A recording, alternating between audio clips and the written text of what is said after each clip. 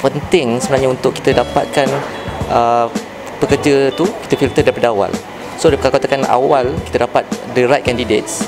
So bila bekerja tu kita dapat lebih mudah untuk melaksanakan apa pelbagai urusan yang diminta dibuat ataupun tugas-tugas-tugasan yang dipertanggungjawabkan lah. Daripada apa uh, kita punya speaker tadi uh, she talk about the apa ni the concept of this uh, DISC tu uh, macam mana you nak kena pasti daripada karakter dia attitude dia.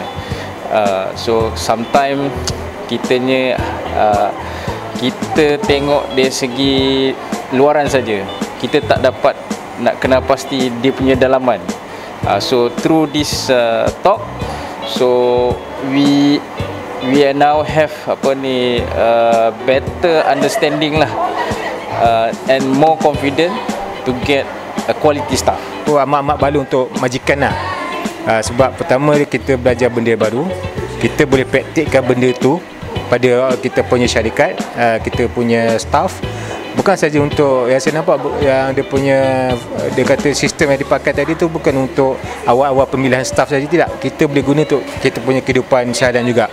Even dengan kita punya partner even dengan kita punya apa akan kongsi even customer pun kita boleh detect dia punya cara mentality dia menggunakan cara tadi tu